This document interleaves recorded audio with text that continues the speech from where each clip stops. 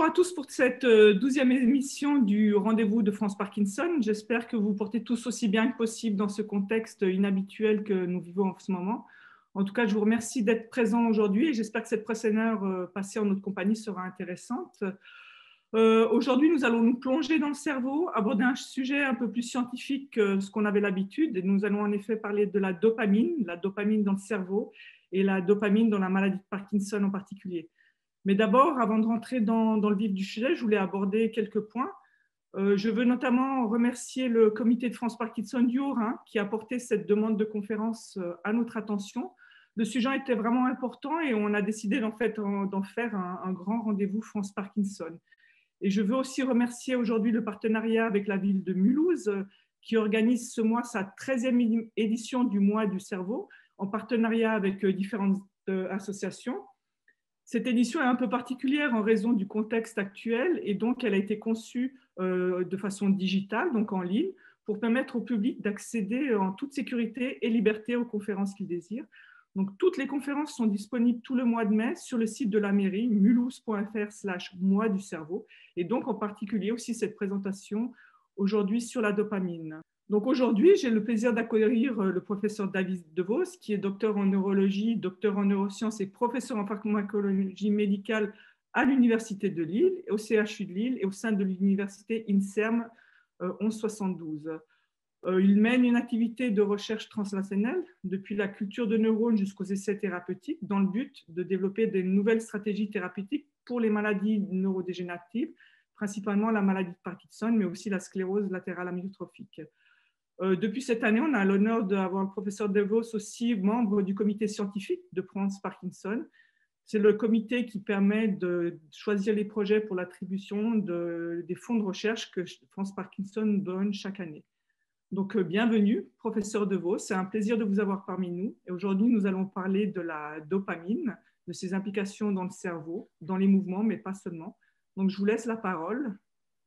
Merci beaucoup. Bonjour à tous. Euh, je suis très heureux euh, d'être là avec vous. Malheureusement, pas physiquement. Euh, comme disait Marie Fusati, on aurait préféré effectivement que ce soit plus vivant en direct, mais au moins on va pouvoir échanger. je vais commencer par présenter pendant à peu près un quart d'heure un petit peu ce qu'est la maladie de Parkinson et ce que l'on peut en retenir.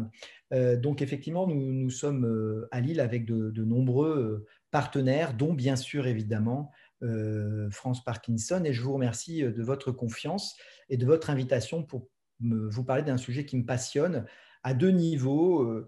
D'abord parce que bah, ça aide euh, les personnes euh, qui ont une maladie de Parkinson et aussi parce que vous verrez, c'est un sujet euh, passionnant d'avenir qui, je pense, pourra nous donner beaucoup de choses. Alors d'abord, je rappelle brièvement, parce que c'est vrai que quand on demande une définition simple de la maladie de Parkinson, c'est jamais facile. Je vais vous demander de retenir un mot qui, est, automaticité, hein, automatique.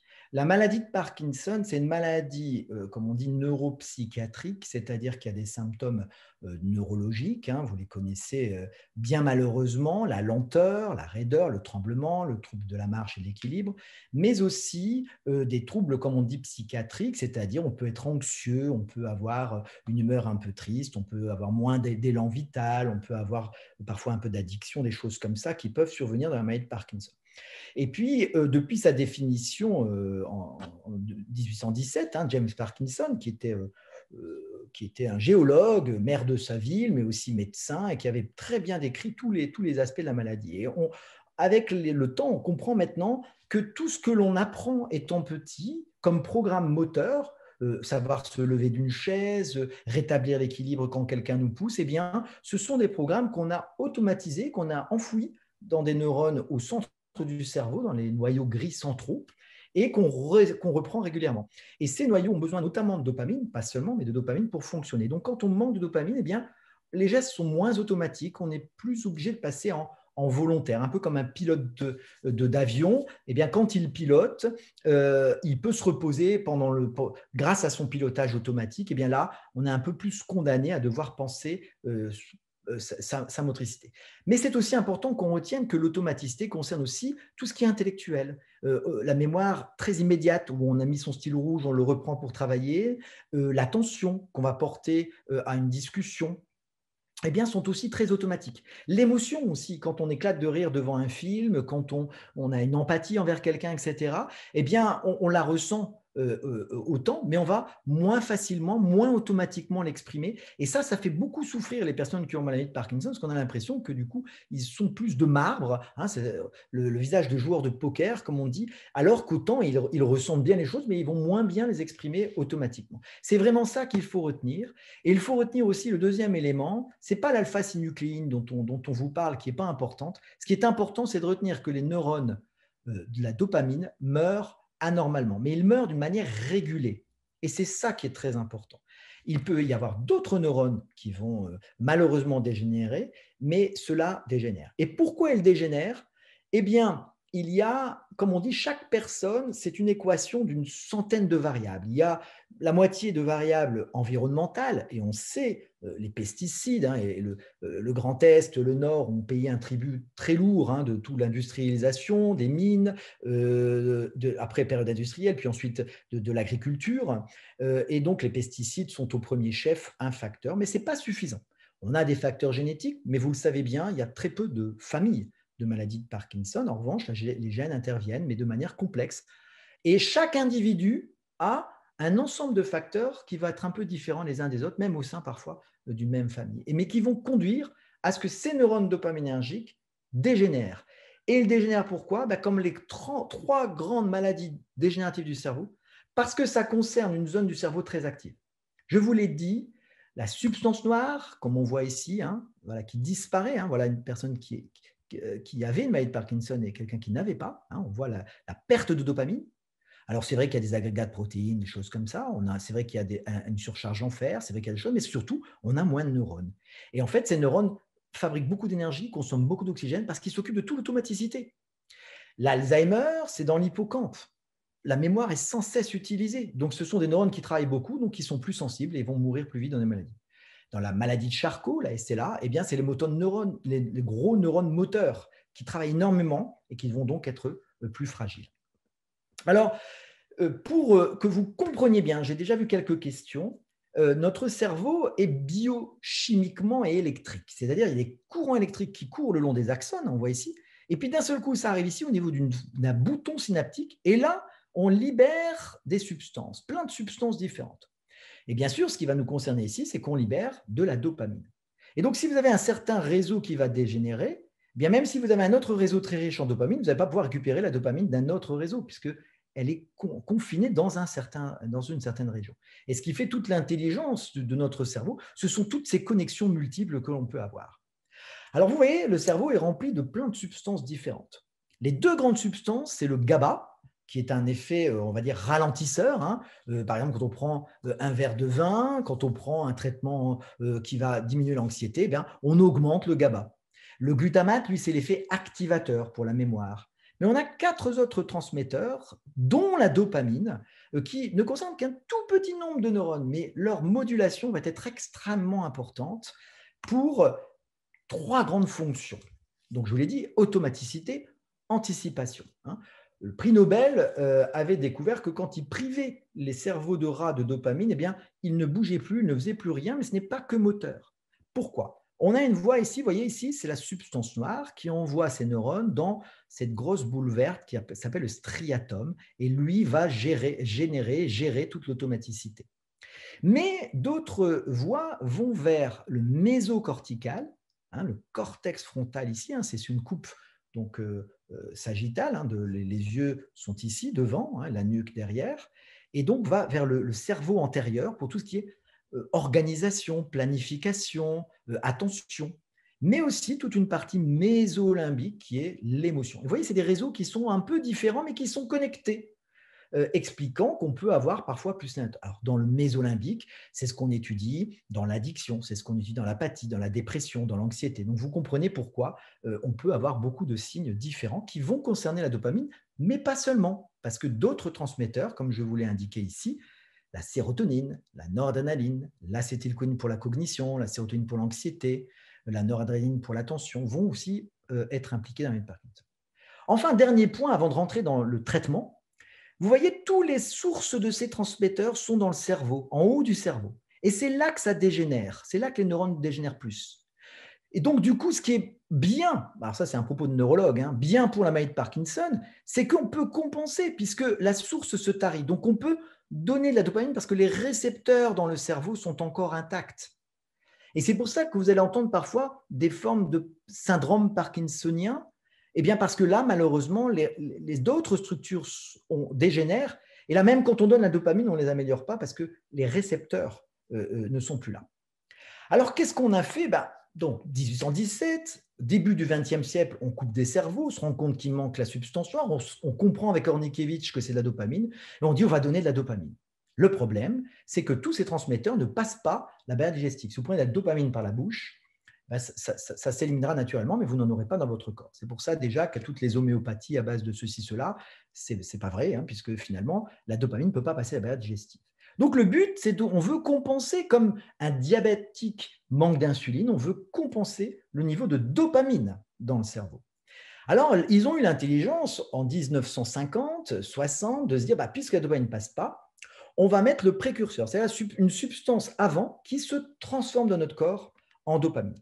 Mais cette substance qui s'appelle la L-Dopa, et Dieu merci, elle existe euh, pour nous, euh, n'est pas un traitement parfait. Et je vais vous expliquer en 2-3 minutes pourquoi ce n'est pas du tout un traitement parfait. D'abord, naturellement, il n'y a que 10% qui vont dans le cerveau. Alors, on a mis un traitement qui empêche la dégradation au niveau périphérique, qu'on appelle un inhibiteur de dopa-décarboxylase. Qu'importe, imaginez que maintenant, dans le modopar, dans le cinémètre, dans le stalévo, eh bien, quasiment 90%, c'est variable d'une personne à l'autre, quand même vont au niveau du cerveau. Ensuite, pour que la L-Dopa soit utilisée par le cerveau, il faut de la dopa-décarboxylase. Or, ça, ça diminue avec le temps et ça diminue avec Parkinson. Ça veut dire que votre dose de L-Dopa que vous prenez sur la forme de monopa, tout ne va malheureusement pas, agir et pas servir. Et une partie va aller ailleurs, dans le cœur, le rein, etc. Troisième grand problème avec la L-Dopa, pour passer la barrière digestive, quand vous le prenez par la bouche, pour passer la barrière du cerveau, ça utilise des canaux qui sont les mêmes que ceux pour les acides aminés, donc c'est pour ça qu'on vous répète sans arrêt de le prendre à jeun. Si vous le prenez pendant un repas, ce n'est pas grave, mais il y aura moins de L-Dopa qui va passer dans, euh, dans le cerveau. Et enfin, le pire de tout, et si vous voulez juste, je voudrais juste que vous reteniez juste ça de toute cette euh, conférence, c'est que la L-Dopa a une demi-vie extrêmement courte, c'est-à-dire c'est une demi-vie d'environ 3 heures. Ça veut dire que si vous prenez de la L-Dopa, 3 heures après, il n'y en a plus. Donc, vous avez tout de suite compris pourquoi on ne prend pas la dopa en deux prises par jour. Parce que ça n'a pas de sens, parce que le traitement s'élimine.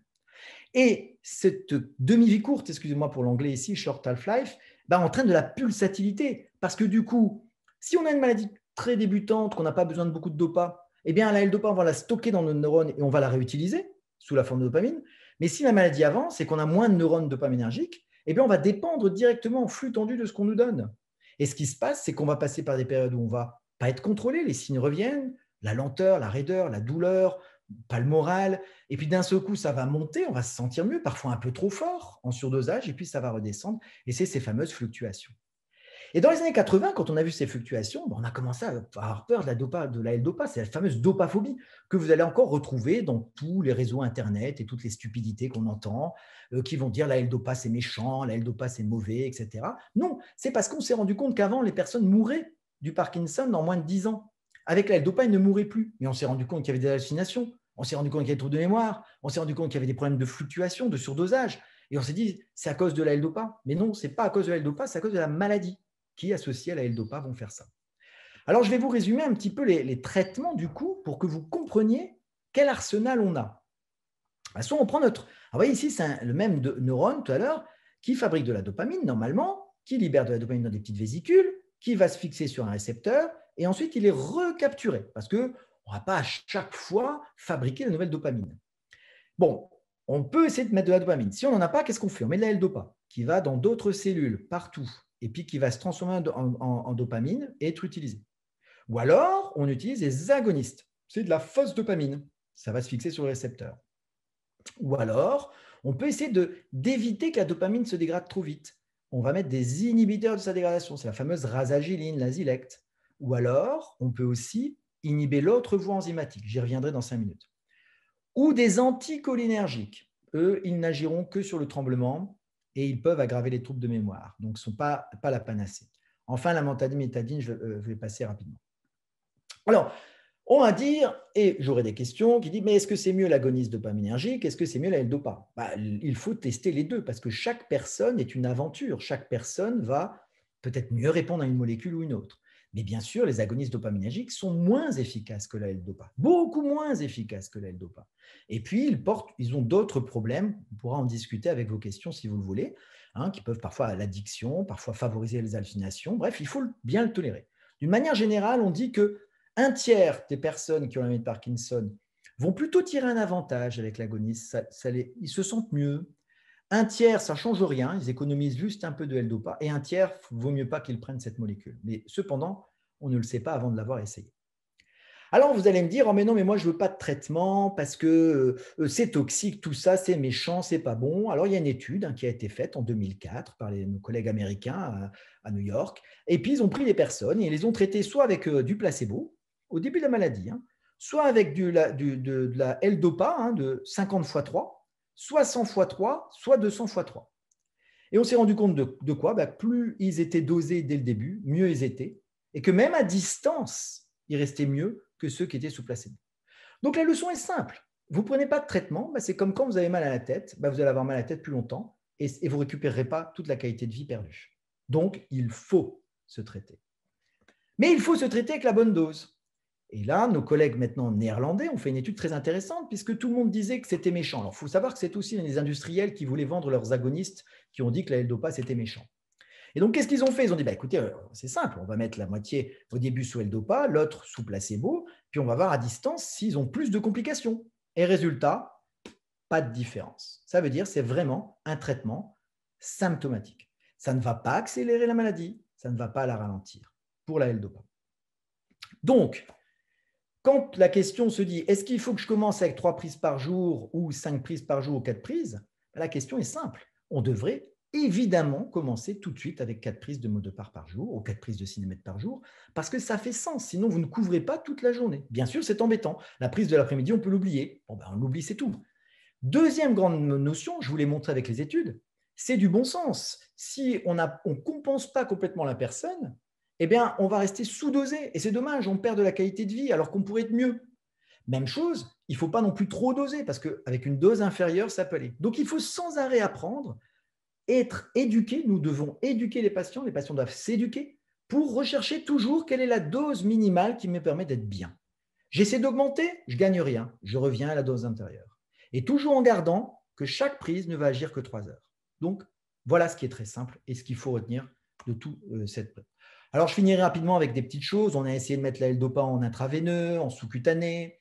On l'a mis dans le tube digestif avec la Duodopa. Et évidemment, plus on la met en continu, ben, mieux la personne est. La Duodopa, ça marche très très bien. Cependant, il faut faire un trou dans l'estomac avec une pompe extérieure très lourde et peu de personnes ne veulent, faut bien l'avouer, parce que voilà, c'est une vision de fin de vie, c'est quelque chose qu'ils n'aiment pas. Et actuellement en France, on a un pays où on en met beaucoup, ben c'est quand même euh, quand même ceux qui ont des formes très sévères qui in fine acceptent d'avoir ce traitement. Donc on a la duodopa, c'est simple, c'est de la L-dopa en continu, hein, c'est une pompe de 500 grammes. On a l'apomorphine, c'est un agoniste dopaminergique, donc ça marche bien, mais tout le monde ne va pas euh, répondre favorablement et ça compensera pas tous les besoins. Et puis on a la stimulation cérébrale, je n'y reviendrai pas, ce n'est pas dans ce, topo-là, mais qui ne concerne qu'une petite partie de la population. Et nous, on s'est dit, bah, le traitement idéal, ce serait qu'on mette de la dopamine directement dans le cerveau. Et je vais vous illustrer simplement ça, juste pour terminer en deux minutes. Qu'est-ce qu'on a maintenant comme futur traitement autour de la dopamine? Bah, Vous l'avez compris, on s'est dit, bah, est-ce qu'on ne pourrait pas faire un patch de L-Dopa? Ce serait bien, parce que du coup, on pourrait avoir de la dopa en continu. Ce n'est pas un patch, mais vous voyez, un peu comme la pompe à pompe, on veut essayer de mettre de la L-Dopa euh, piquée dans la peau c'est pas mal, c'est pas parfait et ça compense pas tout le traitement oral, mais c'est une voie actuellement avec des études qui sont en train d'être menées pour essayer d'améliorer les gens, mais on est limité à 600, 800 mg par jour, ça veut dire qu'on n'arrive pas à tout compenser. Or, vous devez retenir que tant qu'on prend un traitement oral, on peut avoir ces fluctuations.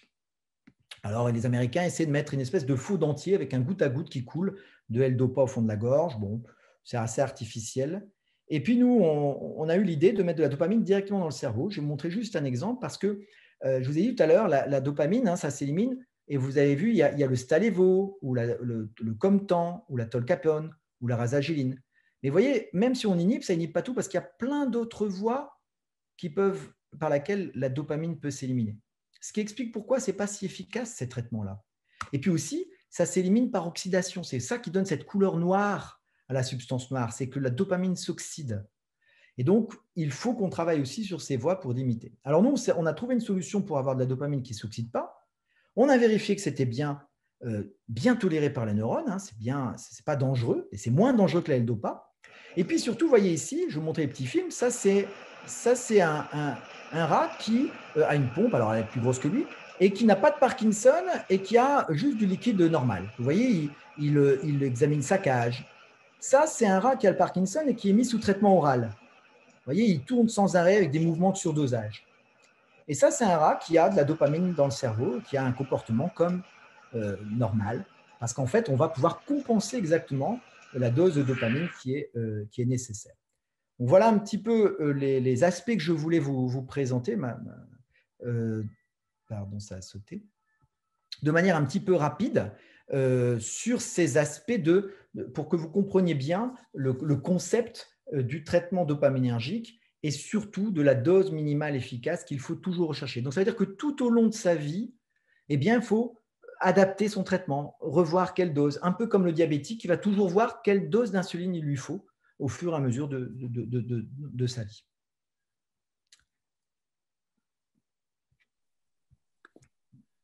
D'accord, merci beaucoup pour, ce, pour, ces explications de base. Alors, on a déjà une question en direct euh, d'une personne qui nous demande euh, est-ce que c'est valable pour la maladie à corps de Lewy Donc, je ne sais pas exactement à quel moment cette question est arrivée pendant votre, euh, votre présentation, mais c'est clair que les gens se posent aussi la question de la maladie à corps de Lewy. Alors, c'est très juste. Je vais vous remontrer du coup, euh, je vais vous remontrer une, petite, une petite image, que les, images parlent mieux, pour la maladie à corps de Lévy et pour les syndromes parkinsoniens.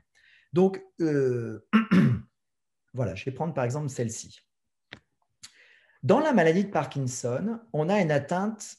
Alors, il y a, pour ceux qui lisent euh, des documents, c'est plus compliqué que ça, mais on a, en tout cas, sinon on ne dit pas que c'est une maladie de Parkinson, une atteinte de la substance noire, c'est-à-dire la source de dopamine. Du coup, on s'en rend compte parce que quand on donne de la L-Dopa, ou de la dopamine, ou des agonistes, eh bien, on peut les améliorer parce que les récepteurs sont préservés. Dans la maladie à corps de Lévy, le problème, c'est que la dégénérescence c'est beaucoup plus large et concerne beaucoup plus d'aspects. Elle, va concerner dans une certaine mesure aussi la substance noire, expliquant que parfois on met aussi des traitements à base de L-Dopa, mais elle concerne aussi ici cet autre noyau, le noyau basal de Meinert, qui concerne la choline. Et c'est pour ça qu'on a on définit la maladie à Cordévie comme, comme si on avait une maladie de Parkinson plus une maladie d'Alzheimer, ce qui est un peu, un peu exagéré parce que ce n'est pas réellement comme ça, mais on a des troubles intellectuels très précoces. Et donc, on manque aussi d'acétylcholine. Et donc, ce qu'on fait dans la maladie à corps de Lévy, c'est qu'on met des traitements pour le Parkinson, mais aussi des traitements pour, euh, pour la mémoire. D'accord.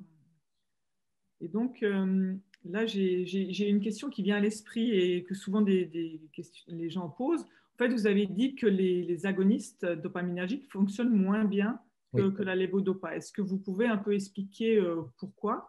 Parce que les agonistes restent quand même un traitement de choix au départ dans, dans, des sujets qui sont peut-être plus jeunes, chez des patients plus jeunes. Bien sûr. Alors attention, euh, merci beaucoup Marie pour cette question très importante. Euh, l'autre point qui est vraiment important, c'est que chaque traitement est personnel. Il faut bien que vous compreniez que le traitement de l'un ne sera pas le traitement de l'autre. Et euh, la L-Dopa, comme la dopamine, sont des substances qui sont généralement très bien tolérées parce qu'on en a besoin. En revanche, les agonistes sont des molécules. Or, on sait bien qu'une personne va bien réagir à un tel médicament et une autre ne va pas bien réagir à un médicament. Et donc, c'est pour ça que je dis que, bien sûr que, à titre personnel, je prescris les agonistes dopaminergiques parce que c'est une aide complémentaire, parce que ça va réduire ces manques. Vous avez vu, je, vous ai dit, la L-Dopa, ça a une demi-vie courte. Avec l'agoniste, l'agoniste a une demi-vie qui peut être de 12-18 heures. Et donc, du coup, ça couvre. Et donc, ça évite des moments où on est vraiment avec un manque très important de dopamine. Donc, c'est une aide très importante qu'il faut essayer chez chacun d'entre vous. On évite quand même les agonistes dopaminergiques quand on a plus de 70, 75 ans, parce que c'est moins bien toléré. Il est vrai, chez les jeunes, on met des agonistes dopaminergiques, mais je dirais chez les jeunes, il ne faut pas mettre que des agonistes dopaminergiques. Il faut aussi commencer très tôt la L-Dopa. Il ne faut pas tolérer le handicap.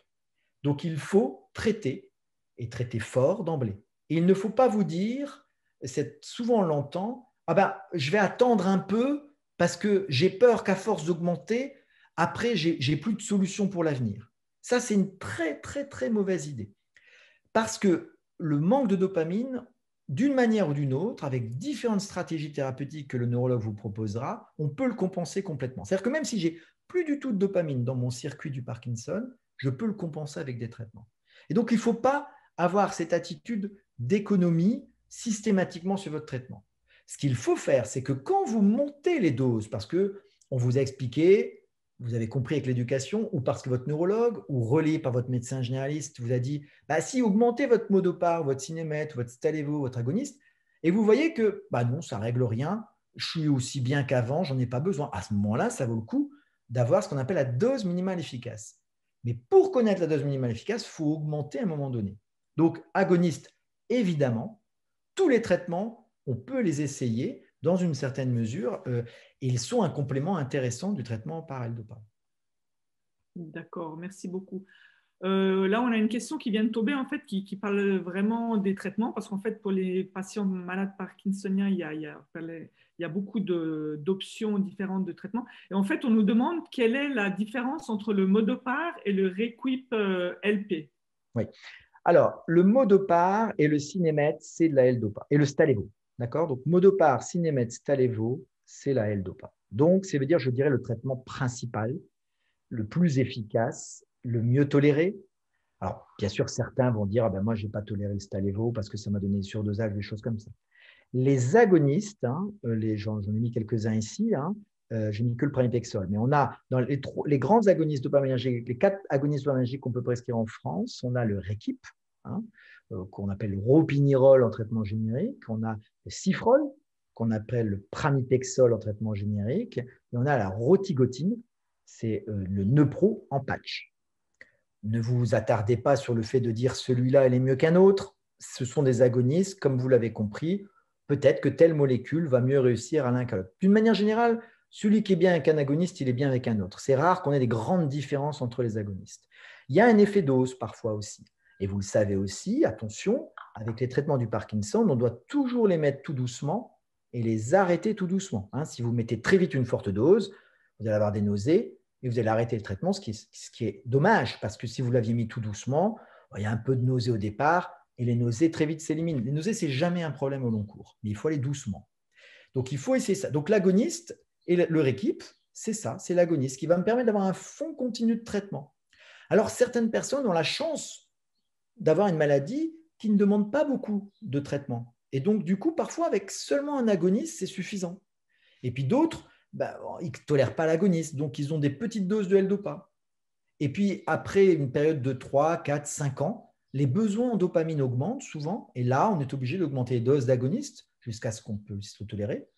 Si on ne tolère pas l'agoniste, bah, on prendra que la L-Dopa, et on augmente progressivement la L-Dopa en fonction de l'augmentation du handicap. C'est pour ça qu'il faut il faut être bien conscient de son problème et tirer la sonnette d'alarme dès qu'on sent que ça s'aggrave un peu pour pouvoir réadapter son traitement jour après jour. D'accord. Et une chose euh, qui, préoccupe aussi beaucoup euh, les personnes, clairement, sont tous les effets secondaires qu'on peut avoir euh, avec ces différents médicaments. Donc, il y, a ceux qui sont les effets secondaires de, la lévodopa, mais aussi les effets secondaires des, agonistes qui sont différents, qui ne sont pas forcément les mêmes. Bien sûr donc, bon, pour la lévodopa, on connaît mieux les dyskinésies, mais il peut y avoir aussi des effets euh, au niveau périphérique hein, qui peuvent être euh, des nausées ou de, l'hypotension. Est-ce que vous pouvez un peu développer euh, peut-être les effets secondaires de la lévodopa, les expliquer? Bien sûr. Alors, en fait, si vous voulez, le, n'oubliez pas que lorsque vous, dans l'esprit des gens, la bouche, c'est la façon normale de traiter. Ce n'est pas du tout la façon normale de traiter. La bouche, c'est fait pour s'alimenter, pas pour traiter une maladie du cerveau. Hein. Euh, donc, du coup, quand vous prenez un traitement dans la bouche, ça va partout. Donc, la L-Dopa, qu'est-ce qu'elle peut faire? Elle peut jouer au niveau des vaisseaux et entraîner effectivement des petites modifications de la tension artérielle du cœur Mais franchement, sur des milliers, des milliers, des millions de gens traités, c'est rarement un problème. Pareil pour au niveau du rein, elle peut accélérer, augmenter un petit peu la formation d'urine, mais c'est rarement un problème. Ce qui arrive souvent avec le modopar, c'est pour ça qu'on le met tout doucement, enfin le modopar salevo, c'est si on le prend tout doucement, les quelques nausées qu'on peut avoir vont s'estomper et ça ne doit pas être un motif d'arrêt. Ça doit juste être un motif de dire oh là là, je vais ralentir, je vais rebaisser la dose, je vais attendre plus longtemps avant d'augmenter. Donc, je dirais au niveau digestif, pas de souci. Parfois, certains vont avoir une amélioration de la constipation, voire un peu de diarrhée, mais là aussi, généralement, c'est transitoire. il arrive parfois que ce soit plus compliqué, mais normalement, c'est bien toléré. Pour les agonistes dopaminergiques, on a ces mêmes effets que la L-Dopa, bien évidemment, mais souvent, ils sont un peu plus importants. Donc, par exemple, pour l'apomorphine hein, en, sous-cutané, là, on peut avoir plus d'hypotension. Euh, donc, on a des chutes de tension, à ce coup, on fait des malaises lorsqu'on se lève.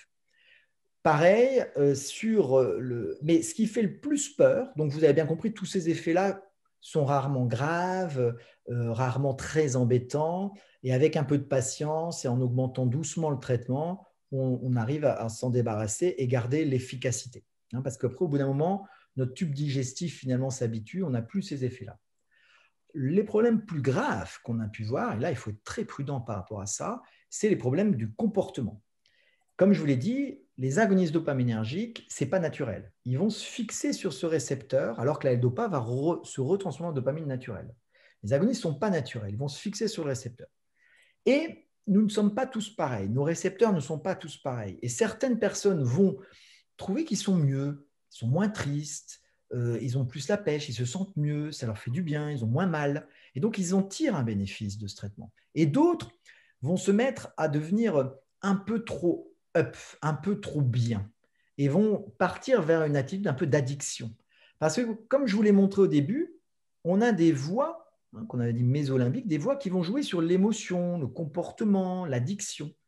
Et c'est difficile parce que, alors, ça ne crée pas une addiction toute pièce. Hein. J'ai jamais été dépensier, je ne vais pas d'un seul coup devenir très dépensier. Mais sur quelqu'un, alors on va faire des clichés, hein, une femme qui va aller plus acheter des, sacs à main et des chaussures, euh, euh, un homme qui va être plus euh, tenté par le sexe ou par la nourriture, qui va manger plus. Alors la nourriture, ça c'est pas gênant parce qu'on le voit tout de suite, d'une consultation à l'autre, ils prennent du poids et on se doute qu'il y a un problème avec l'agoniste. Ce qui est plus dramatique, et ça a été des cas catastrophiques pour certaines personnes, c'est qu'ils se sont mis à jouer au jeu ou à dépenser des fortunes ou avoir des comportements aberrants au niveau sexuel. Et le problème, c'est qu'ils avaient déjà une petite tendance comme ça, et l'agoniste a aggravé petit à petit. Et du coup, on devient un peu comme un toxicomane, en fait, comme un addict. Et donc, souvent, même quand on leur pose la question, ils ne le disent pas toujours. On dit, vous n'avez pas de problème avec ça? Non, ça va. Alors, certains se confient, disent, bah, je passe 10 heures sur les écrans, euh, je deviens addict aux écrans. Et donc là, on doit être très prudent sur l'agoniste dopaminergique. Et si on voit que manifestement, ça pose un problème, à ce moment-là, il y a deux études en cours actuellement au niveau français. Un à Lyon avec Stéphane Taubo avec la clonidine, euh, le catapressant, et un avec Mathieu Hanheim avec un, traitement antipsychotique, la pinvacérine, pour voir si ces traitements-là pourraient éviter les addictions dans l'agoniste. Sinon, ce qu'on fait, c'est qu'on réduit la dose et si ça continue, on arrête le traitement agoniste. Donc, il faut bien faire attention à ce problème-là au niveau de l'agoniste. Je dirais que c'est le grand problème euh, de l'agoniste énergique. Sinon, le reste, on n'a plus les problèmes des agonistes des années 80 euh, qui pouvaient être dangereux les agonistes qu'on a maintenant n'ont pas de problème de dangerosité. En dehors du comportement, qui peut être, comme vous l'avez compris, euh, grave, mais on le dit, on le répète, maintenant tous les neurologues le savent. Ce qui a été catastrophique, et même moi je me suis fait avoir, c'est dans les années 2000. C'est dans les années 2000, on ne le savait pas. Et donc les gens ne pensaient pas que c'était leur Parkinson. Donc il faut être vraiment prudent avec cet aspect d'addiction. Mais vous savez, des fois avec le Parkinson, on, a, est un peu apathique, on a moins envie. Et une petite dose d'agonisme peut parfois nous permettre de nous sentir mieux. Même les psychiatres mettant dans des dépressions qui ont rien à voir avec le Parkinson, ils utilisent aussi ce, traitement-là. Donc vous voyez, l'un n'est pas l'autre. Il faut, bien suivre, il faut essayer de bien comprendre son traitement et puis à chaque fois analyser comment on peut être mieux avec l'arsenal thérapeutique. Parce qu'il y a beaucoup de traitements quand même dans le Parkinson. Oui, justement, en fait, je pense que c'est très important de revenir sur ce point parce qu'on dit souvent euh, les traitements n'ont pas évolué et tout, alors qu'en réalité, depuis 20-30 ans, les traitements ont quand même énormément évolué parce qu'au début, c'était vraiment une grosse dose de lévodopa avec des effets secondaires euh, inimaginables. Euh, le fait de rajouter des inhibiteurs, d'avoir plus de molécules, permet quand même aujourd'hui aux neurologues de faire un traitement plus quand même pas parfaitement à la carte et personnalisé, mais d'adapter beaucoup mieux euh, à chaque personne. Et c'est important que les patients s'en rendent compte parce que oui, on a toujours la lévodopa, mais la lévodopa, ça reste le médicament qui, qui fonctionne pour tout le monde. Si on a une maladie de Parkinson, ça va fonctionner. Exactement. Et, c'est important de, garder ça à l'esprit. Voilà, il faut bien garder que on fait, comme disent les Anglais, fine tuning, le, le réglage fin. Ce qu'il faut que vous compreniez, c'est que l'augmentation de qualité de vie que vous cherchez, le, mieux-être que vous cherchez peut s'obtenir en adaptant finement votre traitement. Et, c'est ça qui est fondamental. Alors, bien sûr, j'ai vu des questions, mais il y a des neurologues qui sont bons, d'autres moins bons, bah oui, comme tout le monde. Et puis, euh, il y a des neurologues généralistes qui vont être très forts en sclérose en plaques et moins forts en maladie de Parkinson, euh, c'est certain. Mais euh, généralement, on essaie, nous, de travailler pour que maximum de neurologues soient bien compétents, on fait des formations continues, Pareil pour les médecins généralistes qui doivent être bons en tout, ce qui est impossible. Donc on essaie de former au mieux les gens, mais vous-même, vous devez être aussi, euh, euh, si possible, euh, actif dans votre prise en charge. À titre d'exemple, quelque chose qui m'a frappé, j'en étais quasi sûr, ils ont fait une grande étude en Scandinavie et ils ont enregistré avec une montre, vous savez, l'actimètre. Et se sont rendus compte que à peu près deux tiers des personnes étaient sous-dosées. Ça veut dire que là maintenant, parmi toutes les personnes qui écoutent, eh ben, ça veut dire qu'il y a à peu près soit sur les 100, il y en a à peu près une cinquantaine qui n'ont pas la bonne dose exactement de ce qu'ils devraient avoir. C'est-à-dire, sans révolution, vous pouvez aller mieux. Sans révolution, il faut bah, dire tiens, bah oui, mais c'est vrai, ce qu'il a dit, je me rends compte maintenant, je prends mon traitement, il est 7 heures, je me lève. Et c'est vrai que vers 11 heures, j'ai un coup de barre, ça ne va pas du tout. Et pourtant, je prends mon traitement qu'à midi et demi. Bah oui, il faut avancer la prise suivante de L-Dopa pour éviter les creux qui finalement euh, bah, vous font souffrir. Alors, et vous savez que parfois, on a juste, enfin juste, on est ralenti, mais parfois, le manque est très mal vécu parce qu'on a mal dans sa chair. Parfois, on se sent pas bien, on se sent anxieux, parfois on se sent triste quand on manque de dopamine. Donc, c'est plein de petits symptômes comme ça qui font euh, qu'on peut vraiment améliorer euh, avec le, réglage fin des traitements existants. Et il y a de plus en plus de molécules. C'est vrai qu'on attend une révolution, mais vous le savez mieux que moi, on attend tous que d'un seul coup, d'un coup de baguette magique, on soit plus malade. C'est surtout ça. Mais au-delà de ce rêve qui est évident, euh, je crois qu'il y a quand même déjà les moyens de bien adapter. il ne faut pas avoir peur non plus des traitements de seconde ligne, dont je vous ai parlé très vite, hein, la pompe apomorphine, la diodopa, la stimulation cérébrale, je l'espère bientôt la dopamine intracérébrale comme on est en train de développer. Il n'y a pas non plus un traitement mieux que les autres. Il y a des traitements qu'il faut essayer et voir quel est le meilleur traitement pour chaque personne. Oui, donc c'est clair, dans, tout ce que vous dites, en fait, on se rend compte de l'importance aussi du dialogue avec le neurologue, de ne pas avoir peur, qu'il n'y a, pas de mauvaise question, il ne faut pas avoir honte de poser une certaine question qui pourrait avoir l'air bête ou pas. En fait, il n'y a pas de bonne ou mauvaise question, il y a juste des questions qui concernent chaque personne et qui est donc importante et qu'il faut vraiment euh, s'ouvrir au neurologue, même si des fois les visites sont rapides et qu'on n'a pas tout le temps euh, qu'il voudrait. Alors, on, a beaucoup de questions, c'est difficile de trier. Quelqu'un m'a demandé de parler euh, des risques de dyskinésie. Est-ce que vous pouvez euh, rapidement parler de, des dyskinésies? Oui, c'est un point important. Pas mal de questions. Oui, c'est un point très important, effectivement, les dyskinésies qui font peur aux, patients. Bon, euh, je, vous l'ai montré tout à l'heure, hein, je vais vous le remontrer. Ah non, je ne peux plus vous partager, c'est pas grave. vous avez vu, je vous avais dit, il y a une courbe comme ça, la, la, L-DOPA met une demi-heure, 15 minutes, 20 minutes avant d'agir. Elle agit pendant une heure, une heure et demie, puis après, elle agit plus. Euh, souvent, après 5 ans d'évolution de maladie de Parkinson, la L-Dopa, est consommée en 2 heures. En début, elle est entre 3 et 4 et après à 2 heures. Donc, vous devez bien retenir ça. Et au pic de la dose, si votre, la dose que vous prenez est trop forte, eh bien, vous passez au-dessus de ce que vous avez besoin. Et là, on peut avoir des mouvements involontaires qui peuvent être variables d'une personne à l'autre. Ces mouvements involontaires sont souvent mieux tolérés par la personne qui a maladie de Parkinson que les blocages parce qu'elle se sent mieux et sont très mal tolérés par l'entourage. Souvent, il y a des conflits au sein de la famille en disant oh là là, tu, ça, m'agace que tu bouges tout le temps, etc. Alors, qu'est-ce qu'il faut faire dans ces cas-là? Ben, Il y a des traitements. Euh, il y a le Mentadix, par exemple, mais il y a aussi le fait surtout de mieux fractionner son traitement. Donc, ça devient un traitement lourd, pénible, difficile, où on prend une prise de L-Dopa toutes les deux heures.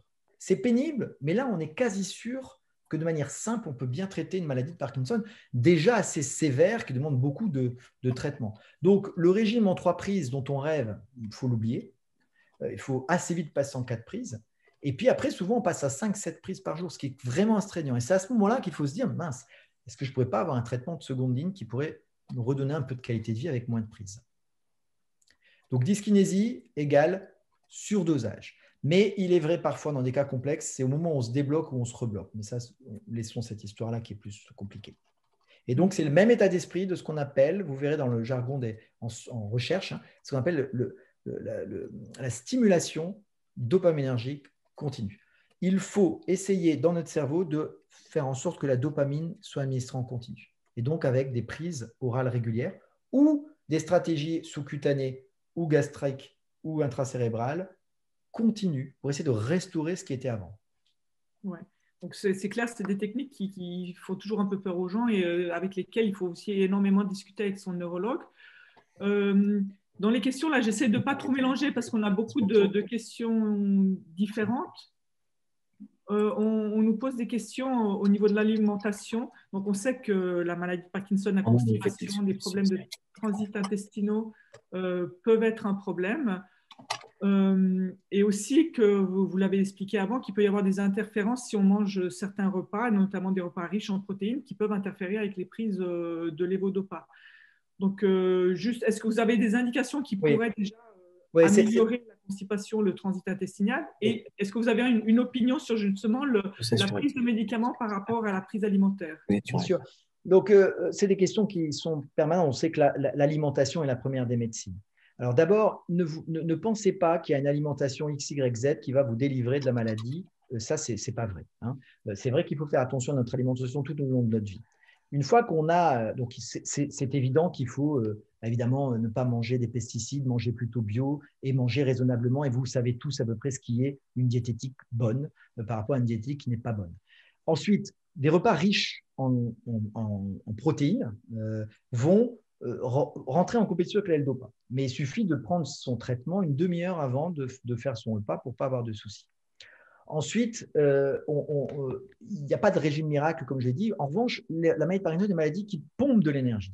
Et donc, il faut faire attention de ne pas perdre trop de poids. Si jamais vous, vous voyez que vous perdez du poids, c'est que vous êtes en dénutrition. Et ça, ça aggrave la maladie. Donc, il faut bien s'alimenter. C'est très important. Ne faites pas des régimes stupides. Ce n'est pas le moment avec la maladie de Parkinson de dire je vais perdre 20 kilos. Alors, bien sûr, si vous êtes dans un surpoids important, vous pouvez faire un régime doux avec une perte de poids très lente mais attention, vous avez besoin d'apport d'énergie, vous avez besoin de manger de la viande de temps en temps. On en mange trop dans le monde, c'est évident, mais vous devez quand même manger des choses réelles, classiques de diététique. Autre grande question qu'on pose toujours aussi, alors on a dit le, trouble du, digestif, oui, on a à peu près euh, un tiers des personnes qui ont une constipation, ça peut monter parfois à 40% dans les formes plus évoluées. Évidemment, la constipation va perturber l'absorption du médicament. Hein. Euh, donc, faut si on a une diarrhée, le médicament absorbe moins vite. Si on est constipé, il absorbe plus vite. Ce qu'il faut faire, là, vous pouvez utiliser tous les régimes de grand-mère qui marchent bien, les pruneaux, les fruits, les légumes, les régimes en fibres. Beaucoup s'hydrater. Parfois, on, va souvent aux toilettes faire pipi, donc du coup, on boit moins et on se constipe. Et enfin, si vraiment avec les stratégies classiques, euh, et aussi l'exercice physique, bien évidemment, hein, quand on est toute la journée dans son fauteuil, bah oui, on est constipé, ça c'est logique. Hein. donc il faut tous les jours au moins marcher euh, plusieurs kilomètres. C'est essentiel pour être bien dans la maladie de Parkinson. Tous les jours, activité physique, physique, physique. Dès le début de la maladie, kiné, kiné, kiné. C'est essentiel. Et enfin, quand la constipation persiste, on peut prendre, il y a des traitements doux, euh, le macrogol, des, des, traitements comme ça, on prend un ou deux sachets le matin. J'ai jamais vu de patient qui avait un problème de constipation catastrophique qu'on n'arrivait pas à gérer avec ces stratégies-là. D'accord, très bien il y a quelqu'un qui, parle, qui pose une question qui est un peu différente, mais qui revient aussi à l'alimentation. C'est euh, un problème d'apparition de dégoût euh, alimentaire. Donc, c'est probablement lié plus à des altérations peut-être euh, de l'odorat ou du goût. Oui, alors vous le savez, hein, on en a beaucoup parlé à la fois avec le Covid-19, mais aussi dans la maladie de Parkinson. On a malheureusement, je ne l'ai pas dit hein, pour simplifier, mais le bulbe olfactif est dopaminergique. Hein. donc, du coup, alors c'est pas là où ça dégénère le plus, mais euh, c'est d'ailleurs pour ça qu'on pense que ça peut être une voie d'intoxication par les, les, toxiques de l'air hein, euh, qui peuvent entraîner une dégénérescence des, neurones euh. Alors c'est vrai quand on perd le goût, on peut effectivement avoir moins d'appétence pour certains aliments. je dirais qu'il faut quand même se rééduquer et se forcer quand même à manger un peu de tout et à reprendre goût, quitte à ce qu'on épice un peu plus quand on a moins de goût et d'odorat. pour ça. Il a été dit qu'effectivement, mais c'est souvent dans des contextes de, dénutrition, et on passe dans un cercle vicieux. Et plus on est dénutri, moins on a envie de manger, moins on a envie de manger, plus on se dénutrit. Et donc, il faut rompre euh, le cercle vicieux, surtout chez les personnes plus âgées, plus fragiles. C'est là où on met des compléments alimentaires, c'est là où on les charge à fond au niveau alimentaire pour qu'ils reprennent du poids. Et après, souvent, ils reprennent un appétit euh, qui va bien. Donc, vous voyez, c'est un peu la même problématique. Quand on est obèse, on a toujours faim, euh, on est dans une addiction de l'alimentation. La, de, et à l'inverse, quand on perd du poids, on est dégoûté, on n'a plus envie de manger. Donc, il faut à chaque fois rompre ces cercles vicieux. Mm-hmm. Et hum, là, on va partir un peu sur des questions euh, sur plus les, thérapies alternatives, hein, pas, forcément euh, médicamenteuses, mais plus les, choses qu'on peut faire au-delà de, seulement prendre un, médicament. Donc, on, me demande euh, si les techniques cognitives comportementales peuvent aider. Probablement, on sait que le stress va augmenter les symptômes, et donc si on peut aider le stress, on va pouvoir aussi. Et donc, tout ce qui est sport, relaxation, activité physique, au-delà de peut-être créer plus de dopamine, donc d'améliorer au travers C'est une, magnifique question et ça, on en est tous convaincus en tant que neurologue expert de Parkinson que l'exercice physique et la motivation sont quelque chose d'essentiel. Euh, il faut vous faire plaisir. Hein. La, vie est courte, on va tous mourir et en attendant, il faut se faire plaisir. Donc, cherchez une activité que vous aimez. Euh, si c'est du tai chi, si c'est du yoga, si c'est de la marche, euh, si c'est quoi que vous... Le tango, j'ai plein de patients qui font du tango, qui font d'autres danses, etc. Alors c'est vrai qu'en ce moment, la période est douloureuse parce qu'on est confiné, euh, mais il faut sortir quand même de chez soi. il faut absolument faire de l'exercice physique. Moi, je vois vraiment la différence. Hein. On n'a pas besoin de faire d'études entre des personnes qui font l'exercice physique et des personnes qui n'en font pas. Quel est la meilleure, meilleur exercice physique? Il n'y a pas de meilleur. Je pense qu'il faut quelque chose que vous aimez.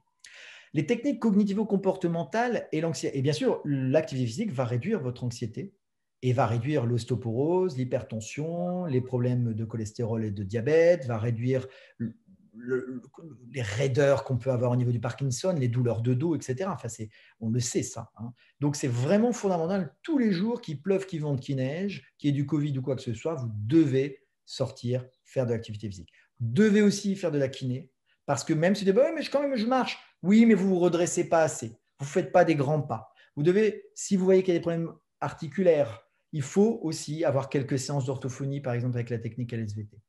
Enfin, l'anxiété. Merci pour cette question parce que c'est quelque chose qui me touche énormément.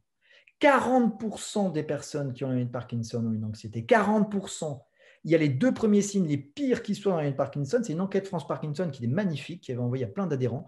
Le premier signe, vous savez lequel C'est fatigue. On est crevé quand on a une Parkinson.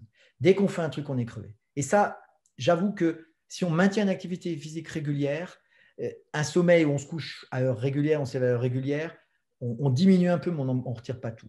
L'anxiété, en revanche, ce n'est pas normal de souffrir d'anxiété. On peut, il faut évidemment faire de l'activité physique, faire des activités qui nous fassent plaisir, s'engager dans du bénévolat, faire des choses, sortir de chez soi. C'est pas facile, on n'a pas envie, on a le regard des autres, les stigmates, on a peur, mais il faut lutter contre ça pour se sentir mieux. Et puis, il faut être aidé par des traitements. Pas les benzodiazépines. Bon, l'alcool, c'est assez rare dans de Parkinson, mais pas les benzodiazépines. Ce qu'il faut, c'est une petite dose de traitement qu'on appelle antidépresseur, que bien sûr personne ne veut parce qu'on n'en explique pas bien. Donc, c'est les IRS. Parce que je vous ai montré au début le cerveau, hein, vous avez vu la dopamine, mais on manque de sérotonine dans le de Parkinson aussi. Et donc, il suffit d'augmenter un petit peu votre taux de sérotonine pour que d'un seul coup, vous n'allez pas changer. Vous allez toujours être un bileux, comme on dit dans le Nord, je ne sais pas si on dit ça dans l'Est, mais vous allez toujours avoir un peu peur. Mais au moins, vous allez vivre mieux. Et c'est ça qui fait la qualité de vie. Donc, il faut être traité pour votre anxiété absolument, en plus des activités physiques. Et je, prescris énormément de petites doses d'IRS. Alors, je dois expliquer beaucoup aux gens que ce n'est pas de la dépression, qu'ils ne seront pas dépressifs. Et ça leur permet d'être beaucoup mieux. Et ça, c'est un point. Je me bats avec tous les neurologues pour qu'ils le fassent et ils le font encore beaucoup trop peu. Ce qui est dommage que les gens souffrent inutilement. Oui, parce qu'il faut aussi se rendre compte qu'en fait, on enclenche un peu ce cercle virtueux. On, on, améliore un symptôme non moteur, on va aussi automatiquement améliorer des symptômes moteurs. Donc, c'est vraiment euh, un tout, une globalité. Et on sort de chez soi parce qu'on a moins peur et, du coup, on va mieux, on a des relations sociales et tout va mieux. Alors, j'ai une question euh, que, que j'ai reçue moi il y a quelques temps euh, au travers des questions que je reçois directement au siège sur le, dosage de dopamine dans le sang. Donc, on sait qu'on a de la dopamine dans le cerveau, mais on en a aussi dans le sang. On sait que certaines cellules euh, périphériques ont aussi des récepteurs euh, de la dopamine. Et en fait, on me demandait pourquoi est-ce qu'on ne peut pas simplement doser la dopamine dans le sang? Est-ce qu'elle reflète la dopamine dans le cerveau? Donc, je trouve que c'est une question intéressante qui vaut la peine d'être abordée. C'est une très belle question. Euh, oui, alors c'est pas simple de doser la dopamine dans le sang parce que, euh, alors moi je la dose euh, régulièrement avec mes patients, mais dans le cadre de la dopamine cérébrale pour montrer que souvent ça ne se passe pas. on a des taux élevés et puis la dopamine ça se dose pas facilement. C'est-à-dire vous n'allez pas pouvoir doser ça au laboratoire du coin. Ça demande des techniques assez sophistiquées et en plus la dopamine, comme je vous l'ai dit, elle s'oxyde. Hein. je ne sais pas pour ceux qui ont bien retenu, elle est éliminée par des enzymes, elle très vite s'oxyde à l'oxygène. Donc si vous prenez le sang que vous attendez une heure, bah, le dosage dopamine. Donc, un, difficulté technique. Deux, ce qui se passe au niveau du sang n'est pas ce qui se passe au niveau du cerveau. Trois, ce que vous avez dosé dans le sang, c'est votre traitement oral en fait qui passe dans le sang. Donc finalement, pour l'instant, on n'a pas de bénéfice à doser dans le sang. On, pourrait réfléchir, pourquoi pas, doser dans le cerveau euh, et, et, compenser au fur et à mesure le dosage du cerveau en administrant ce qu'il faudrait au niveau de dopamine. Ça pourrait être un beau concept, après, il faut aussi un dernier point, retenir que ce n'est pas plat. Hein, vous savez que tout dans notre organisme, toute la physiologie, c'est des cycles. Et la dopamine suit un cycle. Elle augmente le jour, elle baisse la nuit. Elle réaugmente le jour et elle baisse la nuit. Donc, euh, il y a toujours un cycle circadien qui, fait aussi la dopamine. et, donc, qui rend les choses complexes. Donc, dosage complexe. La périphérie, ce n'est pas ce qui se passe au niveau du cerveau. Et ce qu'on mesure, c'est souvent la conséquence du traitement. Mais euh, la personne qui a posé la question, c'est une bonne question et il peut venir nous aider en recherche là-dessus euh, avec grand plaisir. Et donc là, vous avez directement introduit euh, la question suivante que quelqu'un a posée avant, justement sur le sommeil, parce que souvent, les patients peuvent avoir aussi des grands troubles du sommeil.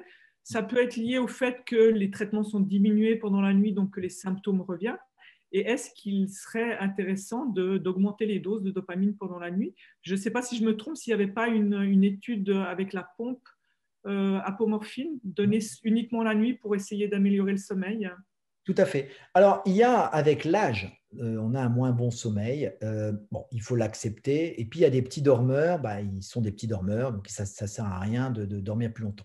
Il y a des règles hygiéno-diététiques, et pour avoir travaillé dans un labo de sommeil pendant un moment, il y a beaucoup de gens qui font n'importe quoi avec leur sommeil. Donc, ils mangent la nuit, ils se lèvent, ils vont au lire, ils font machin. Donc, ça, ça c'est sûr, ça perturbe le sommeil, le sommeil de manière intense. Imaginons que maintenant, la personne ne fait pas n'importe quoi. Elle se couche à heure fixe et elle se lève à peu près à heure fixe aussi tout le temps. Euh, quand elle n'arrive pas à dormir, elle reste dans son lit, elle ne va pas allumer la lumière, lire, bouquiner, regarder la télé. Il faut rester couché, calme, tant pis, je ne dors pas, ben, je dormirai mieux la, nuit suivante. Il y a des gens qui ont des troubles du sommeil sans lien avec le Parkinson et il y a des gens qui n'en ont pas. Et le Parkinson augmente les troubles du sommeil. Donc il y a plein de troubles qu'on peut trouver. Il y a aussi des, nuits agitées qui peuvent parfois euh, laisser suggérer la possibilité d'avoir des troubles de mémoire, donc il faut être très prudent. On peut aussi, quand on est sous-dosé la journée, avoir des très mauvaises nuits. Quand on est surdosé la, journée, avoir des mauvaises nuits. Donc, euh, la nuit, c'est le reflet du jour. Si vous avez une mauvaise journée, vous aurez une mauvaise nuit. Si vous êtes anxieux en permanence, bah, vos nuits sont mauvaises. Donc, déjà, quand on adapte bien le traitement à la journée avec la dopamine, quand on met un traitement euh, par euh, inhibiteur de de la sérotonine, hein, une petite dose d'antidépresseurs qui sont très bien tolérés, qui améliorent beaucoup les choses, d'un seul coup, et qu'on se couche à heure fixe, qu'on est à heure fixe, déjà, on règle 90% du sommeil. On ne prescrit plus jamais de somnifères dans les Parkinson. Ça ne sert à rien. Vous allez avoir l'impression que ça aide un peu au début, puis après pas. On le garde somnifère une fois, une fois de temps en temps quand vraiment ça va pas. C'est comme un, traitement par Xanax ou Temesta quand vraiment j'ai une grande crise d'angoisse. Mais sinon, pas, on continue, ça ne va pas. Enfin, comme euh, disait Marie Fusati, il y a un problème, c'est que la nuit, même si on a moins besoin de dopamine, on en a besoin quand même. Et il y a des personnes qui sont mal parce qu'il manque de dopamine. C'est pour ça qu'on met toujours une prise le soir au coucher. Alors, vous mettez la forme LP qui ne marche pas, hein, ça peut être une forme standard, hein, mot de part LP, cinémètre LP, ils n'ont rien de LP, mais enfin, psychologiquement, les gens les prescrivent, mais il faut prendre une bonne dose la nuit au moment de se coucher, et euh, généralement, ça tient. Et si la maladie devient sévère et qu'on a un besoin la nuit, qu'on se réveille plus souvent, bah, on commence par reprendre une prise la nuit. Je me réveille, je suis complètement mal, je suis, je suis bloqué, je ne vais pas bien, bah, je reprends un, un, ou un cinémètre la nuit, ça sert à rien de souffrir. Euh, et après, il y a des stratégies, comme on le disait, parfois de mettre une petite dose d'apomorphine la nuit, parce qu'en plus, ça peut être, euh, rendre un peu somnolent. Donc, il y a une étude apomorphée qui montre qu'effectivement, ça améliore bien le sommeil des patients euh, la nuit par manque de, ou alors du odopa ou stimulation cérébrale, qui vont aussi améliorer le manque de dopamine la nuit. D'accord. Et bon, on, se rapproche tranquillement de la fin, mais j'ai encore quelques questions. Donc, si vous avez du temps, je pense qu'il faut profiter pour en les aborder. euh, notamment ce qui est des, blocages. Donc, on, sait qu'on peut avoir des blocages, on sait qu'il y a des, solutions rapides, qu'il y a des choses comme le stylo Apoquinon. Il y a des nouvelles choses qui sont arrivées aussi aux États-Unis qui, on l'espère, vont arriver en Europe puis en France. Euh, souvent, ça peut être aussi le, matin, justement après la nuit de sommeil, le matin. Euh, si on prend une dose orale, ça va mettre beaucoup de temps à faire de l'effet. Il y a des choses euh, qui, peuvent avoir un effet plus rapide le matin, peut-être prendre 20 minutes à faire un effet et aider les gens au réveil le matin. le matin, c'est sûr que quand vous n'avez pas pris de traitement toute la nuit, le matin, vous êtes très raide et il faut avoir le traitement sur la table de nuit. Comme je dis, on ouvre un œil, on prend son traitement tout de suite, on n'attend pas on ne se lève pas, déambuler, risquer de tomber. On doit prendre le traitement dans le lit, attendre euh, un quart d'heure, 20 minutes, le temps qu'il agisse. On peut prendre par exemple les formes dispersibles de Modopar, marchent très bien parce qu'elles agissent très très vite. On peut aussi utiliser le stylo à apomorphine. Si on tolère l'apomorphine, hein, tout le monde ne tolère pas l'apomorphine, mais quand on le tolère, ça marche très très bien, c'est très pratique. Donc Modopar dispersible, stylo apomorphine marche bien. Il est vrai qu'il y a ensuite d'autres stratégies qui vont arriver. La, la L-Dopa euh, euh, inhalés. Euh, il y a aussi une, forme d'apomorphine sublinguale qui, je pense, vont être très intéressants pour ces traitements de sauvetage. Mais attention, si vous avez besoin de deux, trois fois des traitements de sauvetage par jour, ça veut dire que votre traitement, il ne va pas du tout. Donc, il ne faut pas en arriver là. Ça veut dire qu'il faut. la prise du matin, d'accord. Mais si une ou deux fois par jour, vous n'êtes pas bien, soit c'est parce que vous avez une forme très sévère, soit c'est parce que vous auriez dû déjà avoir un traitement de seconde ligne. Une pompe apomorphine, une stimulation cérébrale profonde, un diodopa, ou alors que vous ne prenez pas les traitements toutes les deux heures, comme on l'a dit avec la L-Dopa. Donc les traitements de rescue, comme on dit, enfin de sauvetage, c'est bien, mais ce n'est pas ça qui va vous sauver de la maladie de Parkinson. Ce qui va vous sauver de la maladie de Parkinson, c'est le traitement de fond qui doit être bien équilibré. Et le traitement de sauvetage, une fois éventuellement par jour pour les formes très sévères. D'accord. Euh, j'ai encore quelques questions. Euh, une personne me demande comment agit la montadine. Vous l'avez dit rapidement euh, tout à l'heure. Oui, c'est un médicament très compliqué euh, qui a une action un peu sur la recapture de dopamine. Qui donc, elle bloque un peu la recapture de dopamine, donc un peu comme la ritaïne, elle augmente le taux de dopamine. Elle agit aussi sur le glutamate. C'est pour ça qu'on l'utilise. Vous savez, c'est un antiviral, hein, c'est un médicament un peu magique. À l'époque où ça a été développé, on n'a pas beaucoup étudié son mécanisme d'action, mais il s'agit sur le glutamate et donc du coup, on dit que c'est anti-glutamate, c'est-à-dire que ça va diminuer les mouvements involontaires, comme on disait tout à l'heure, de dyskinésie. C'est un très beau traitement qu'on utilise beaucoup pour. Euh, alors, parfois, ça diminue un peu la fatigue, euh, mais surtout, ça diminue les mouvements involontaires de dyskinésie, comme on disait. Donc, il faut ne pas hésiter à recourir à la montadine. Souvent, c'est bien toléré. Parfois, on a des œdèmes des membres inférieurs ou des, des, réactions cutanées qui obligent de l'arrêter, mais c'est rare. Donc, la montadine, c'est un bon allié quand on a une forme fluctuante avec des mouvements involontaires. D'accord. Et euh, dans la maladie de Parkinson aussi, ou même sans maladie de Parkinson, on rencontre aussi le syndrome des jambes sans repos. Donc clairement, les jambes sans repos sont plutôt, on donne plutôt des agonistes dopaminergiques. Alors, les jambes sans repos, on peut les traiter de, plusieurs manières euh, différentes. Dans la maladie de Parkinson, ce n'est pas trop un problème, je dirais, parce que comme on peut utiliser des traitements euh, dopaminergiques, l'agoniste marche, la L-dopa marche, et après, sinon, on peut utiliser des, opioïdes, c'est-à-dire les ferralgancodéinés. Euh, par exemple donc de la codéine, ou alors parfois c'est des antiépileptiques qu'on met quand vraiment on des formes très sévères. Mais sur tous les patients que j'ai suivis, des milliers de patients, j'ai rarement été embêté avec le syndrome des jambes sur repos chez des patients ayant la maladie de Parkinson. Euh, c'est-à-dire souvent ils parce qu'ils ne sont pas assez dosés. Euh, en revanche, en dehors du Parkinson, plus, on est plus embêté à, utiliser les traitements dopaminergiques. Mais généralement, avec les traitements par DOPA, on, arrive à s'en sortir sur ces, sur ces symptômes-là. D'accord. Et j'ai peut-être encore deux questions et puis après on va arriver à la fin. Euh, sur les tremblements, on sait que les tremblements sont plus difficiles à traiter, euh, peut-être parce qu'il faut une dose plus élevée de, de l'évodopa par rapport à, la, lenteur et la rigidité. Est-ce que vous pouvez faire un commentaire euh, sur ça? Oui, alors Bon, déjà, quand on a un tremblement, c'est une forme de meilleur pronostic, il hein, faut le savoir. Et quand on, plusieurs années plus tard, hein, parce que on vit avec la maladie de Parkinson, avec les, traitements et qu'on les traite mieux, maintenant 20, 25 ans, 30 hein, euh, ans parfois avec la maladie de Parkinson, c'est jamais un problème au long cours, le tremblement. C'est souvent un problème au début de la maladie. Après, je parle en général, il y a toujours des cas particuliers. Donc le tremblement, je dis souvent aux patients, on s'en fout. Parce que euh, ça ne va pas être un problème plus tard. Euh, c'est un problème pour lequel on peut traiter. et il y a des formes quand même avec des tremblements très sévères, mais qui sont rares. c'est vrai que quand on, la, L-Dopa va d'abord améliorer la rigidité, et comme on est moins rigide, du coup, on tremble un peu plus. Donc, ce qu'il faut, c'est augmenter les doses de L-Dopa ou d'agonistes, donc traiter un peu plus.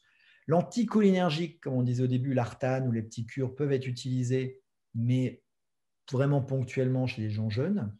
Euh, et après, si vraiment le tremblement est très sévère, les, traitements par chirurgie, par stimulation cérébrale, sont ultra efficaces, sont massivement efficaces et sont exceptionnellement bons. Donc, pour, si vraiment quelqu'un a une forme extrêmement sévère, il faut qu'il soit opéré. Ça ne sert à rien qu'il s'intoxique avec des, tas de médicaments. En plus de ça, euh, euh, aussi pour le tremblement, n'oubliez pas que, alors c'est le stigmate, hein, pour les gens, le tremblement, c'est comme les mouvements involontaires, ça se voit plus que quand on est un peu ralenti. Donc c'est moins bien toléré en termes de, de l'image de soi-même. Mais il faut vraiment pousser le traitement que si le tremblement nous empêche d'être bien. Si on tremblote un tout petit peu de temps en temps, mais que ça ne nous empêche pas de faire tout ce qu'on veut dans la journée, généralement, on considère que le traitement est bon. Voilà, vous voyez ce que je veux dire? Il ne faut pas pousser le traitement pour qu'il disparaisse complètement. Ce qu'il faut, c'est que vous deviez, normalement, vous devez dire, je peux faire tout ce que je veux dans une journée. Et si vous vous dites ça, bon, bah, c'est que vous avez gagné. Alors, bien sûr, on n'est pas tous égaux. Hein, j'ai des, histoires drôles comme ça où l'homme il me dit moi tout va bien. Et puis sa femme à côté elle dit bah oui bien sûr tu fais rien. Donc évidemment tout va bien tu peux tout faire parce que toi tu fais rien. Donc ça c'est drôle. Et puis après il y a d'autres personnes qui sont extrêmement exigeantes et qui veulent être parfaites qui supportent pas la fatigue qui supportent. Donc les niveaux d'exigence sont différents d'une personne à l'autre. Mais donc voilà. Mais c'est pour ça qu'on dit tout le temps est-ce que vous moi c'est ma question fétiche est-ce que vous pouvez faire tout ce que vous voulez faire dans votre journée? Et si c'est oui on va pas toucher au traitement si c'est bah non, à tel moment ou tel moment, ça, ça va pas, voilà. Et le tremblement, c'est rare qu'il empêche de pouvoir faire ce qu'on veut faire. Alors c'est vrai quand même qu'on est moins habile, mais c'est plus la kinésie. Ça, va dépendre bien sûr du métier qu'on exerce. Ou si on est graphiste ou qu'on est musicien, là, le tremblement va être beaucoup plus dramatique. il faut reconnaître quand même que c'est pas si rose que ça. Vous avez raison parce que euh, j'ai vu des, des, grands musiciens. Alors ils savent encore bien jouer au piano, mais par rapport à ce qu'ils faisaient avant, c'était plus pareil. Donc parfois, ils préfèrent arrêter, euh, la mort dans l'âme. Voilà. Non, c'est vrai que, euh, et c'est là, il faut vous retenir aussi ça, c'est que la L-Dopa et la dopamine n'améliorent que les traitements qui sont sensibles à la dopamine, c'est-à-dire de 30 à 70% euh, On dire en moyenne 50% mais ça veut dire qu'il reste quand même 50% de handicap. Et ça, c'est vrai, il faut le retenir aussi. On peut, et notamment dans les petits gestes fins. on n'améliore pas toujours. L'écriture, hein, souvent on se plaint en disant j'ai perdu mon écriture. Euh, alors, il faut quand même s'entraîner. Il faut continuer à rééduquer, à faire des gestes fins, à écrire pour ne pas perdre justement euh, ses capacités. Alors, euh, encore une question sur les. Après, on est vraiment en train de passer dans, dans, tous les domaines, donc on va peut-être bientôt arrêter. On me demande si vous pouviez un peu plus expliquer les troubles de mémoire, peut-être qui sont liés à la maladie de Parkinson. Est-ce qu'ils sont liés au manque de dopamine ou c'est plutôt au manque de, c'est une très bonne question. Les troubles de mémoire, souvent au début de la maladie, euh, ce n'est pas des troubles vraiment de mémoire euh, graves, hein, ce n'est pas du tout Alzheimer, c'est des troubles d'attention. C'est-à-dire que notre système de pour se concentrer est moins bon, et du coup, il y a des informations qui passent à côté. Et on se dit, ah ben, je, l'ai oublié. Après, c'est aussi parfois dans l'attention de récupérer des informations qu'on connaît. Oh, J'arrive plus à revenir sur le nom. N'oubliez pas que ces signes-là, euh, chez une personne de 60 ans, 65 ans, 70 ans, tout le monde a ça c'est plus important dans la de Parkinson. Mais souvent, c'est ça. Et ça, on le voit au début. Ça peut être un petit peu amélioré par la dopamine, c'est vrai. Mais attention, pas trop de dopamine, sinon on l'aggrave. Donc là aussi, il faut savoir bien, bien doser. Les agonistes, souvent, n'aident pas beaucoup ça. C'est plutôt la L-Dopa. Euh, ils ont plutôt un effet délétère, les agonistes. C'est pour ça que chez les personnes âgées, on les évite, parce qu'ils peuvent aggraver la confusion. Et ensuite, ça peut être malheureusement l'évolution. Vous savez, il y a trois grands fléaux dans la maladie de Parkinson. Hein. Euh, une fois qu'on a le diagnostic, qu'on accepte enfin l'inacceptable, ça prend un an.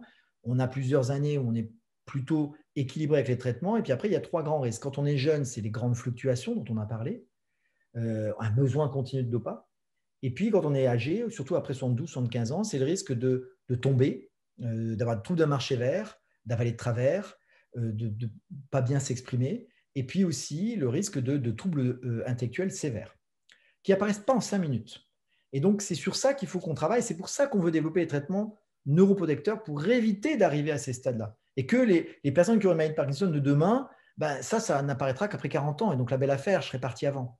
Mais c'est vrai qu'actuellement, chez les personnes âgées, on a ces fléaux-là de la marche, de, la parole et puis de la mémoire. Et à ce moment-là, ce qu'on fait, le seul traitement, c'est qu'on met la, rivastigmine euh, en patch ou en gélule et qui améliore, ça a été bien démontré par des grandes études, qui améliore l'intellectuel, qui améliore la mémoire et l'attention.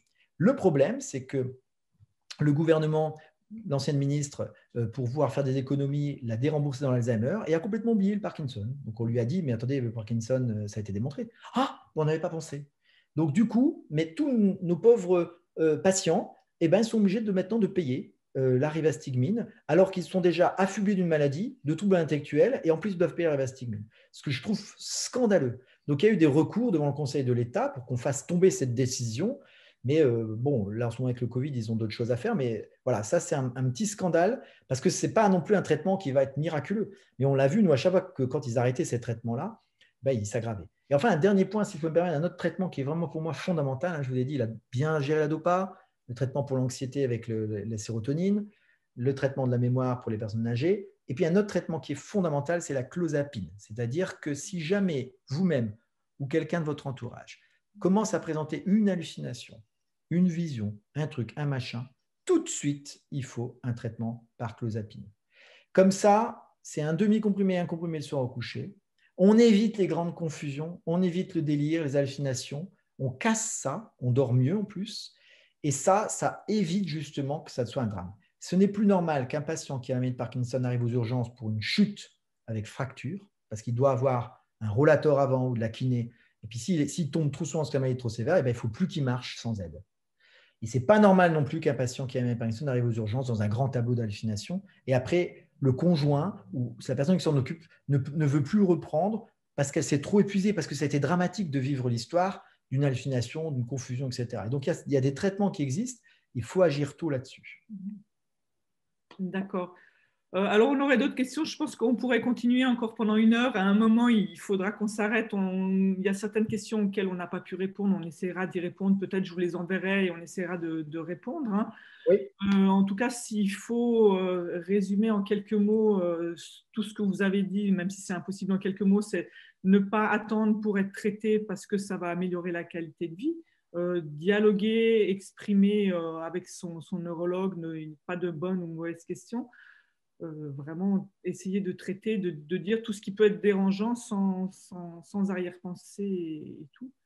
Et, voilà, je pense que c'est des activités physiques, activités complémentaires qui font plaisir. Sortez tous les jours, même s'il pleut, même s'il fait froid, vous mettez une belle écharpe mais vous sortez, il faut prendre l'air. La, sédentarité est vraiment le, le, pyramide de, la maladie de Parkinson et c'est vraiment ce qu'il faut en faire. Donc, euh, Exactement. Donc, je ne sais pas si vous, vous avez un mot de la fin. En tout cas, je vous remercie énormément pour votre disponibilité et peut-être qu'une prochaine fois, on pourra parler des, des traitements neuroprotecteurs euh, en cours euh, dans, dans un temps futur, peut-être cet automne.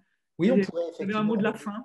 En tout cas, le mot de la fin, bah, merci à France Parkinson d'être là. Euh, effectivement, avoir une maladie, ça nécessite d'être très proactif, de se battre, de se défendre, de laisser entendre sa voix, quand on n'est pas d'accord avec quelque chose qui ne va pas, d'aller demander pourquoi ça ne va pas à son médecin, à son pharmacien, à son.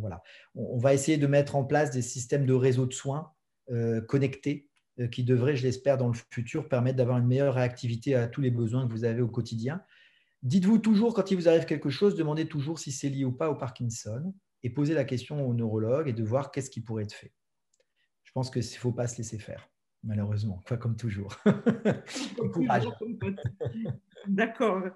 Eh bien, je pense qu'on va clore la session euh, aujourd'hui. Je remercie tous les participants. qui, J'espère qu'on a répondu à la majorité des questions. J'ai l'impression qu'il y en a quelques-unes encore en suspens on va y essayer d'y répondre. Mais en tout cas, merci à vous, euh, professeur De Vos. Et merci à tous et euh, au plaisir. Merci à vous tous. Bonne journée. Au revoir et bonne fin de journée.